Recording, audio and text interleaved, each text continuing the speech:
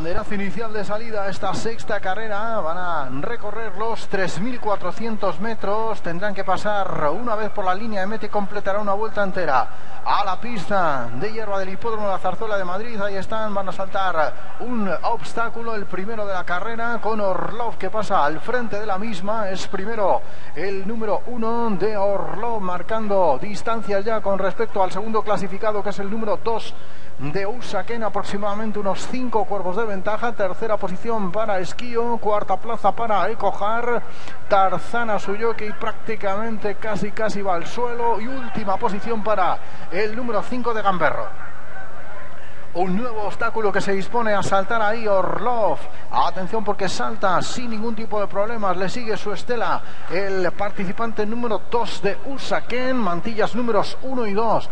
Está Orlov ya tocando los primeros metros de la curva del Pardo. Ahí está entrando ya Orlov destacado aproximadamente unos 10-15 cuerpos de ventaja con respecto a Usaken que es segundo, tercera posición Ecojar, cuarto esquío detrás. Eh, Tarzana última posición para el número 5 de Gamberro. Orlov ya está en el centro de la curva del Pardo, se dispone a recorrer por primera vez la recta final que no va a ser la definitiva. Falta aproximadamente 400 metros para el primer paso por la línea de meta. Sigue manteniendo las distancias el jockey Joseph Baña que se dispone a saltar un nuevo obstáculo. Orlov los salta sin ningún tipo de problemas. También salta Usaken que sigue segundo.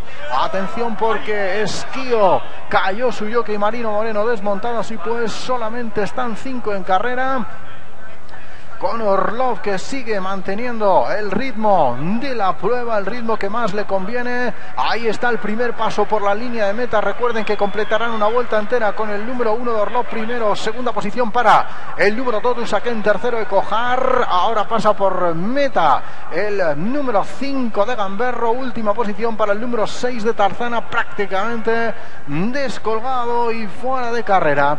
Atención porque ahora sí están eh, los participantes en la vuelta que va a ser la buena. A punto ya en la recta de enfrente con Orlov destacado aproximadamente unos 3-4 eh, cuerpos con respecto al número 2 de Usaken que se mantiene en la segunda posición. Nuevo obstáculo para Orlov, salta sin problemas, también hace lo propio Usaken y Cojar.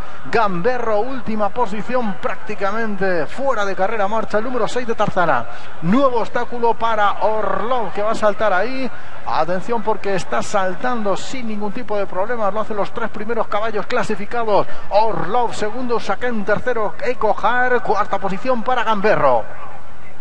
Con Orlov ya está ahí en los primeros metros de la curva del Pardo. Le encima desde atrás el número 2 de Usaquén que intenta ponerse a su altura y pasar hasta la primera posición. Atención porque se disponen a afrontar un nuevo obstáculo los participantes. Salta Usaquén, salta ahí también Ecojar fuera de carrera el número 1 de Orlov. Atención porque se van a disputar la victoria. Usaquén y Ecojar. Recordemos que Orlov está fuera de carrera. Ahí pasa Ecojar al ataque. Primera posición para el número 3 de Cojar con la monta de Tiago Trabuco. Va a saltar uno de los últimos obstáculos. Salta ahí Cojar. Eh, también lo hace Usaken. Un obstáculo ahí y la línea de meta para conocer el ganador de la sexta carrera. Va a saltar ahí Cojar. Salta sin problemas. Se va a ganar el número 3 de Cojar. Segundo Usaken. 100 metros y la meta.